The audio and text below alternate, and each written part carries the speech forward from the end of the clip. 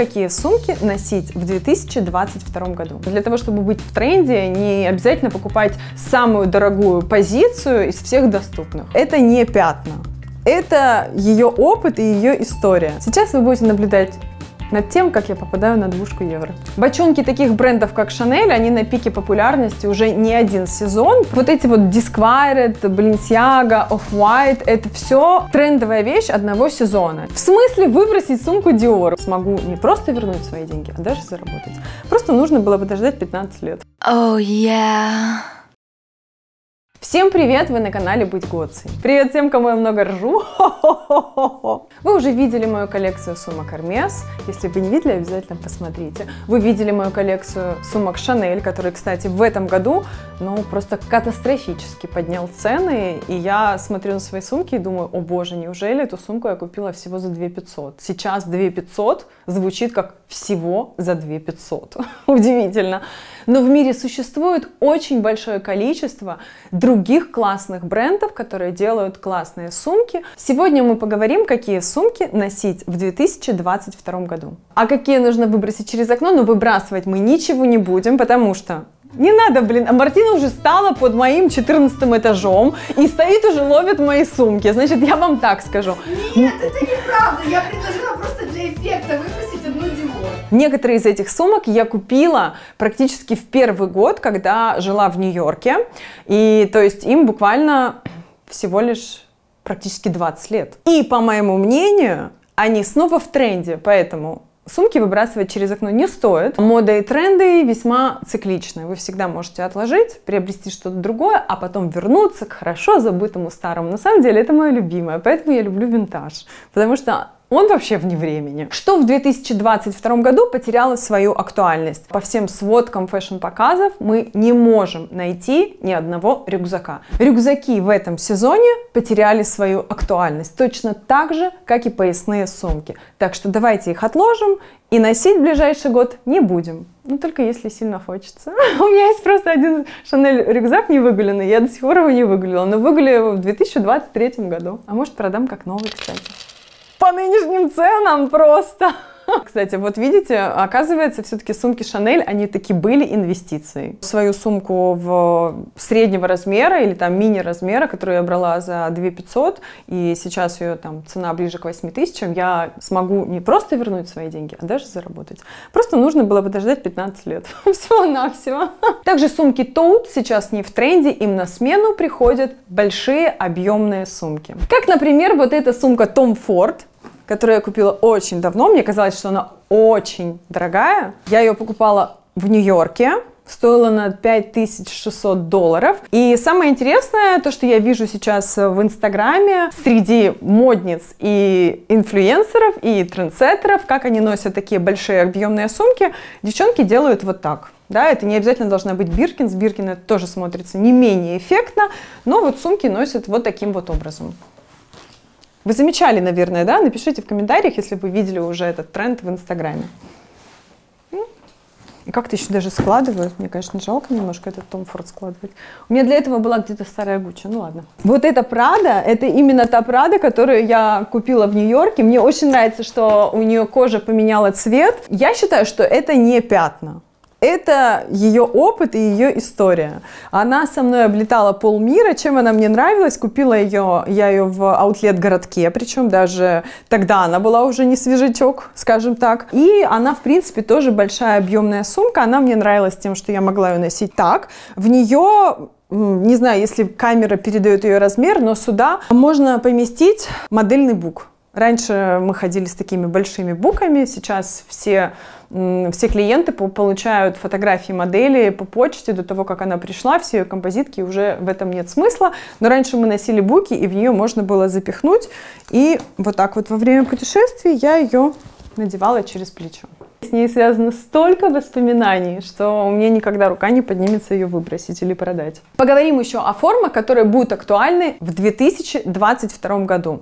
Это плетеные сумки, сумки с бахромой, это сумки с замочком поцелуйчик, это круглые сумки. К сожалению, у меня нет ни одного экземпляра вам показать, поэтому я обязательно выведу на экран картинку. Это сумки-бочонки, которых у меня есть две, и я нашла несколько очень классных альтернатив в middle сегменте. Вам может пригодиться. Теперь пройдемся по каждому пункту. Самая неожиданная сумка здесь, в этой комнате, это сумка Ойша, но она плетеная.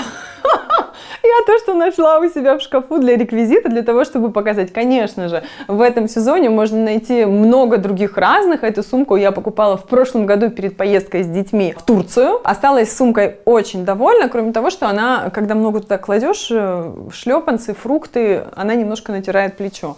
Но, тем не менее, сумка очень прикольная. В этом сезоне эти сумки не обязательно должны быть пляжные. Это хороший городской вариант. Вы можете ее надеть с сарафаном, э, с джинсами, под казаки, прям вот просто не стесняясь. Она не должна быть обязательно такой огромной, как э, моя. Я просто решила вам показать э, пример, что, что у меня есть. Сумки с замочком поцелуйчиком.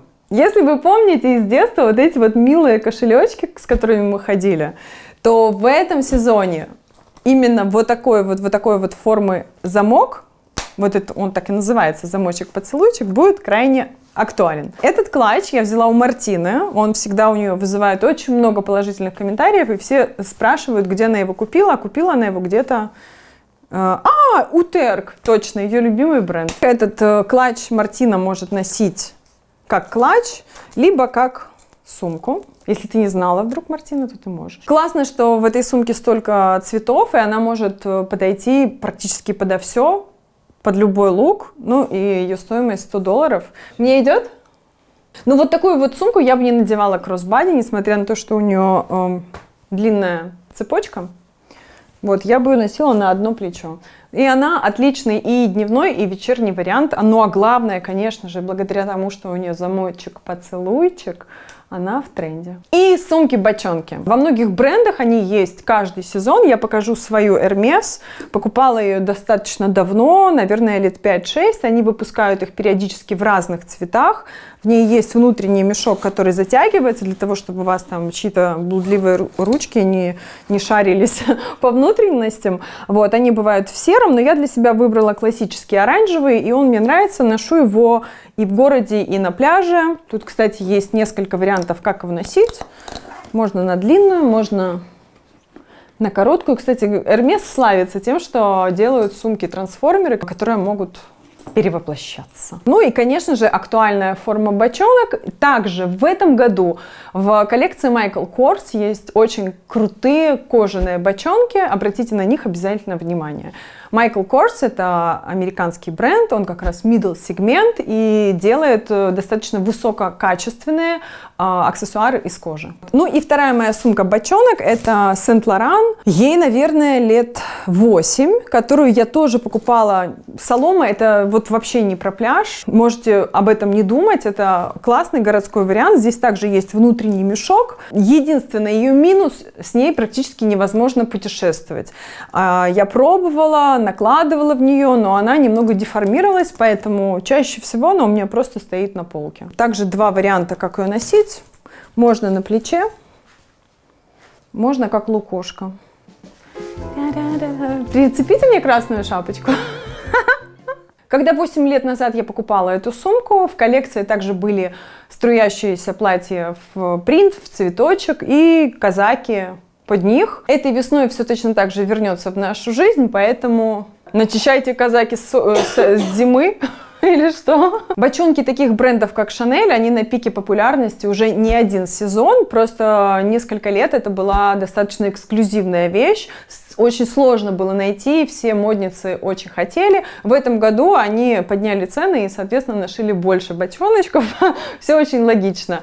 Но лично мое ощущение, что для того, чтобы быть в тренде, не обязательно покупать самую дорогую позицию из всех доступных. Все, что касается винтажа, здесь э, нет какого-то влияния тренда, да. Возможно, квадратные сумки, саквояжи в этом сезоне не в тренде, но если это 80-е, она может быть актуальна, но это, знаете, как, э, как почерк. Это как ваша визитная карточка и уникальная вещь, которая дополняет ваш образ. Тогда мы не можем здесь говорить о трендах или нет. Вот э, для примера здесь вот есть три сумки, которые вне зависимости от всех трендов, которые идут, я бы продолжала носить. Это вот такой вот э, саквояжик 83 -го года рождения, как Мартина. Значит, сумки 38 лет, как Мартине. Мартина, ты где-то в ресторане не вернула номерок. Ты гонишь, а как тебе отдали вещь? Надеюсь, ты в Соболе ушла? Меня обычно, когда спрашивают в салонах красоты, в клиниках, когда у них нет номерочков, они так открывают шкаф и говорят, какая ваша? Я всегда говорю, да понятное дело, вот это Соболь мой. И всегда начинаю так, ну они реально снимают его с плечиков, а я всегда начинаю смеяться и говорю, блин, где я где Соболь. После этого вот эта вот сумка фантастическая Балли, это тоже э, бренд с э, крутой историей, ему много лет, и эту сумку Мартина купила на Киев Нес. Были мы вместе, но как бы кто в телефоне стоял, смотрел, читал сообщения, тот пропустил эту сумку. Я от нее тоже не отказалась в свою коллекцию. Выдержанная форма всегда будет актуальна. Вот прям вот в этом случае, ну, я бы ее даже отнесла к миниатюрным сумкам. То есть, э, в принципе, она как будто бы предполагает больше размер, да, напоминает э, отдаленно какие-то модели Louis Vuitton, вот их, но они все немного больше. А это как будто бы я бы отнесла ее к актуальным в этом сезоне э, мини-сумкам. Она мне очень нравится, правда. И все ее вот эти вот царапины и потертости, это прям то, что я люблю в винтаже. Спасибо, что ты ее не реставрировала, ты умница. А плечевого ремня к ней нет? Есть. шикарно. Мартина, тут еще один номерок, шучу. Эта сумка стоила 70 евро.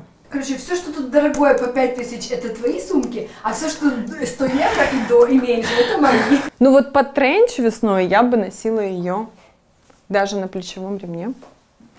А под костюм, если под э, брючный костюм, то я бы носила ее исключительно в руке. Всегда играйтесь, смотрите, как образ смотрится более выигрышно. Ты вот э, эксперт по сумкам.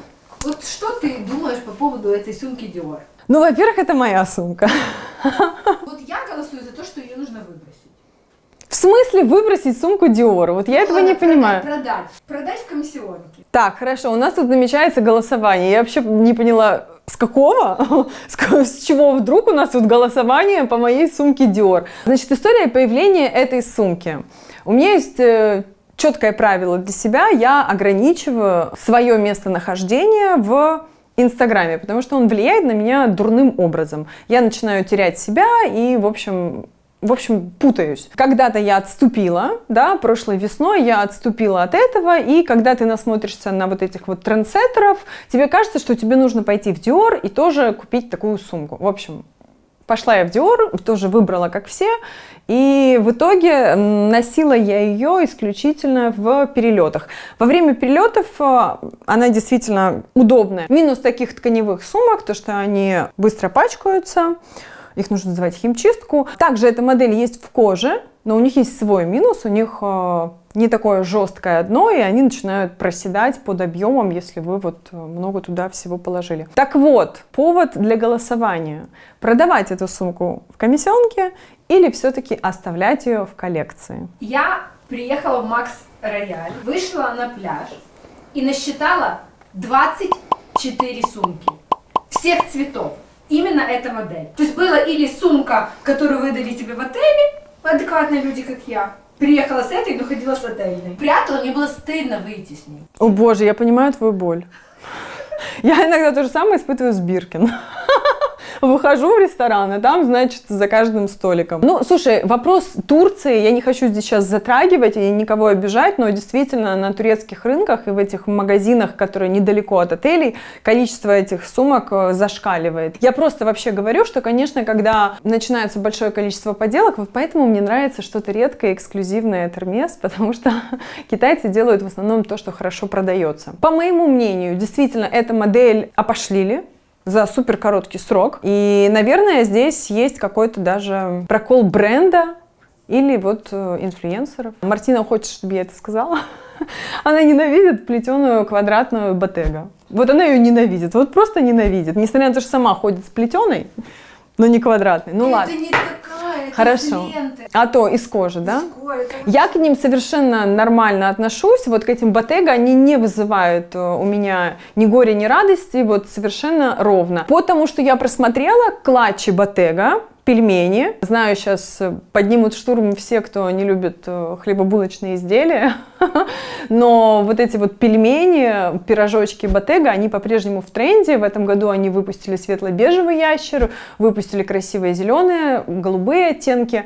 И, как по мне, это одна из самых универсальных сумок, которые есть в моей коллекции. Когда мне под образ не подходит ни одна Келли, Биркин, либо какая-нибудь сумка Шанель, тогда я какая-нибудь, так небрежно, Тогда вот всегда выручает пельмень, пирожок. Самый странный для меня тренд – это странные сумки. Но они в тренде в этом году. Сейчас я сделаю обзор странных сумок и буду видеть их впервые, как и вы. Реквизит в студию.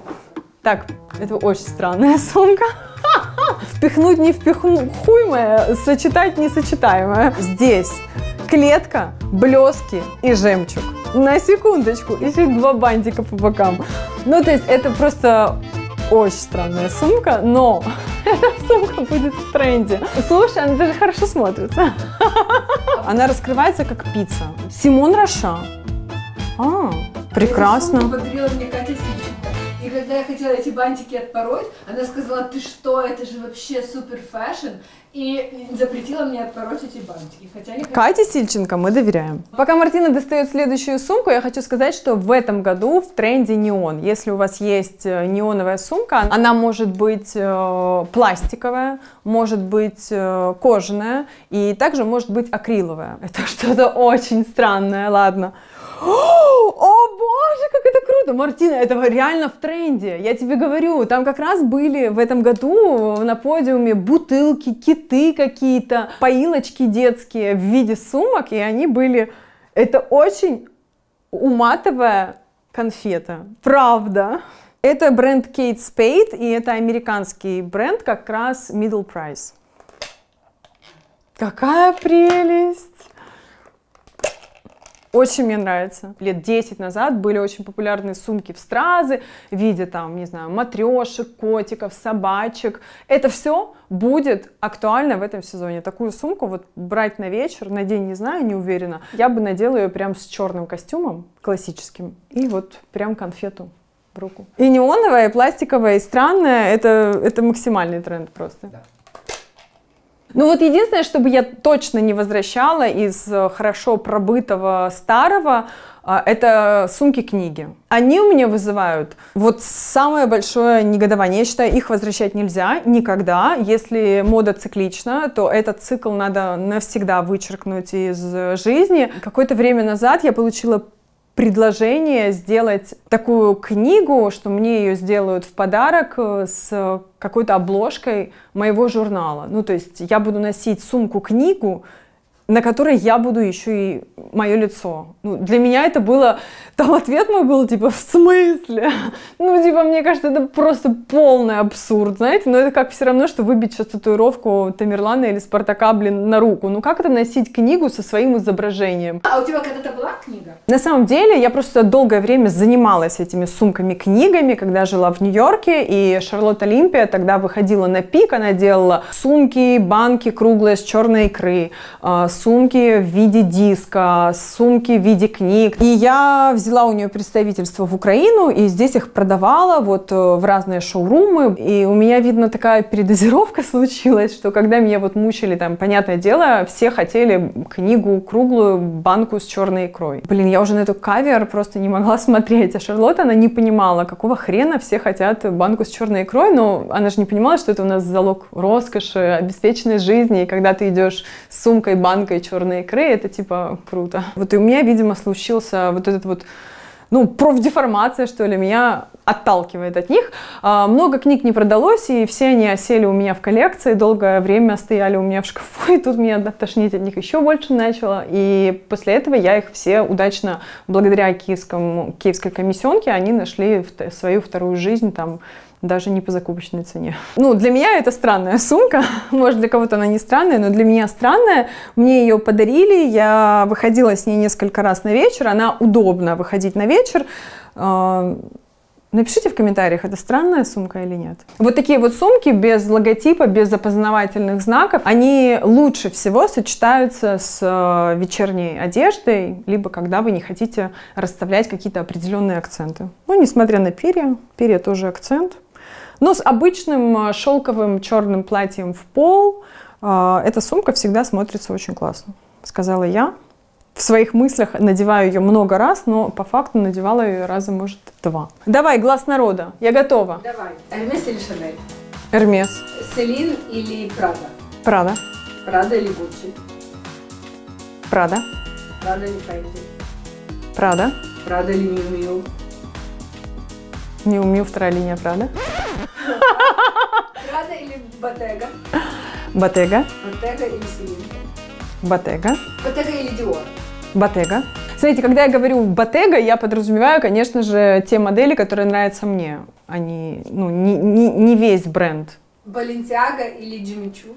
Ни то, ни другое. Твой топ-3 сумок, если не, Hermes и не Шанель. Middle это Michael Kors. Серьезно? Я в Америке накупила, я ни одну не носила, себе маме отдала, потому что мне кажется стыдно ходить с Майкл Корс. Нет. Ну, типа, с Коуч меньше стыдно, чем с Майкл. Нет. Нет? Ну, я тебе просто скажу еще, у меня отношение все равно к дизайнерам, даже по тому же кастингу, как попасть к ним э, на показ. То есть попасть на показ Майкл Корс ой, крайне сложно. Я был, работала для него на показе. Попасть э, на показ коуч никто из моделей не хочет. ну, потому что гонорар Майкл Корс, и когда ты ходишь э, с топ-моделями, действительно, у него на показах работают исключительно топ-топ модели.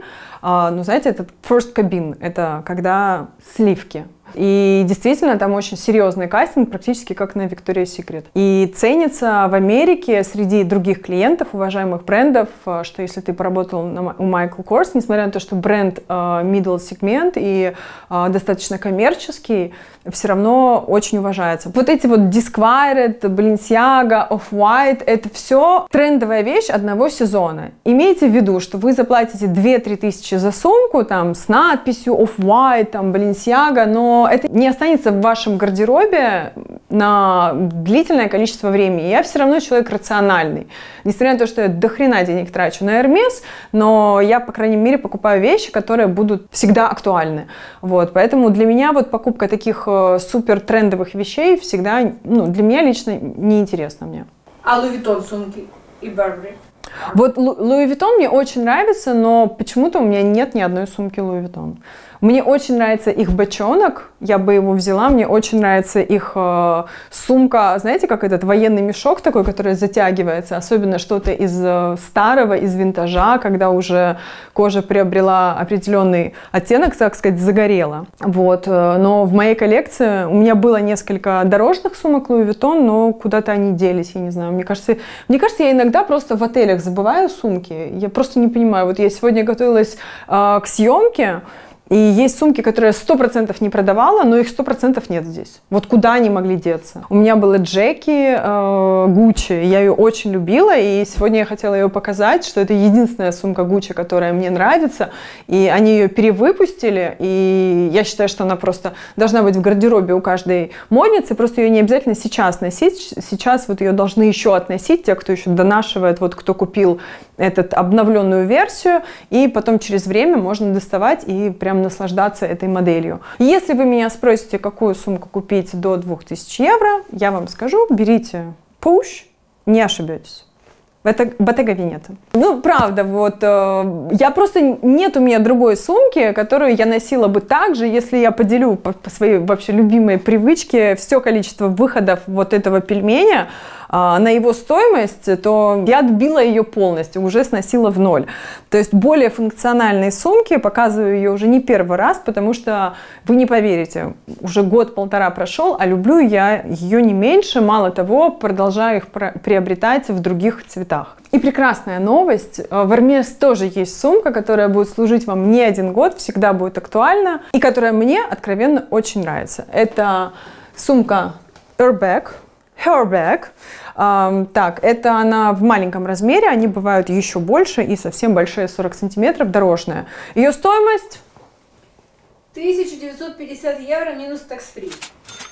Еще одно очень важное преимущество этой сумки, мало кто знает, но эта сумка двухсторонняя. Ее можно разобрать, вывернуть и получить второй вариант. Поэтому, если вы пойдете в бутик и будете выбирать себе сумку, обязательно смотрите, какой цвет внутри. Тогда у вас будет двухсторонняя. У них очень много неожиданных комбинаций, то есть вы можете взять зимне-летнюю сумку. Этот зеленый, он, он однозначно актуален круглый сезон. Ну и если захочется, вот этот вот светлый можно носить все лето. Смертельный номер сейчас прямо перед вами. Я буду выворачивать эту сумку. Итак, Сейчас вы будете наблюдать, как я попадаю на двушку евро.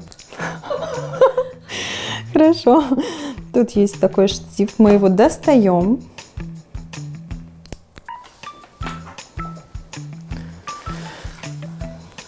Так.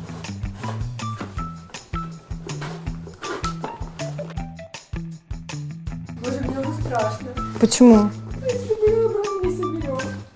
Да что ж не соберем? Соберем.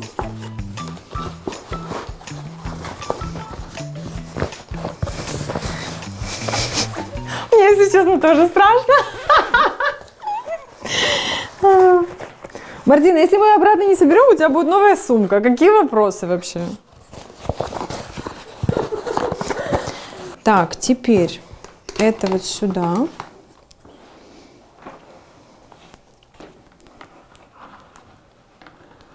Так. Ой, Мартина, у тебя лишние детали. Вот это все должно попасть в одну дырочку. Так. Ну все, у нас уже финишная прямая, по сути.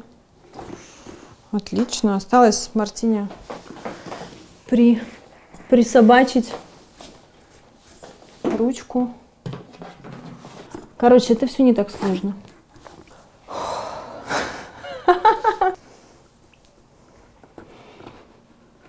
Мартина, ты бы еще кому-то доверила это делать с твоей сумкой? Теперь нужно вот это вот надеваем сюда. Закручиваем ее сюда. Ну вот вообще, чем не инвестиция? И, кстати, вот эти вот сумки очень хорошо продаются на вторичном рынке, чтобы вы знали. Мартина, я тебя поздравляю, твоя двухсторонняя сумка. Вот она. Ура! Ну замечательно же. Была зеленая, стала бежевая. Ты же поняла, да? То есть ты можешь раскрутить также этот э, штифт и убрать э, плечевую ручку и носить ее с легкостью только вот таким образом, если тебе хочется. А если тебе хочется убрать эти две и носить только на плече, то точно так же раскручиваешь штифт, убираешь эти две и оставляешь только плечевой ремень, ну и, соответственно, сумка-трансформер. Единственное, что из нее не сделать, это клатч, но хотя, в принципе, дайте мне ее просто на один день. Ну, в общем, мы с вами опять классно поболтали, повеселились, э, посмеялись. Надеюсь, этот выпуск был вам интересен, полезен, а я уже готовлю следующие выпуски. Мы с вами еще обсудили не все тренды будущего года. Начнем уже скоро готовиться к весне, к лету. И для тех, кто отправил нам свои визитные карточки для шоу «Быть как годцы», девчонки, э, очень сложная ситуация сейчас с ковидом. К сожалению, болеют эксперты, болеет съемочная группа, и у нас все никак э, по разным обстоятельствам не получается э, приступить к съемкам шоу. Задержка только в этом, вы не переживайте, скоро мы стартуем. Я вас очень люблю, спасибо, что вы посмотрели эту серию. Я вас люблю, пока. Два раза люблю. Ну, потому что я сильно вас люблю. Oh yeah.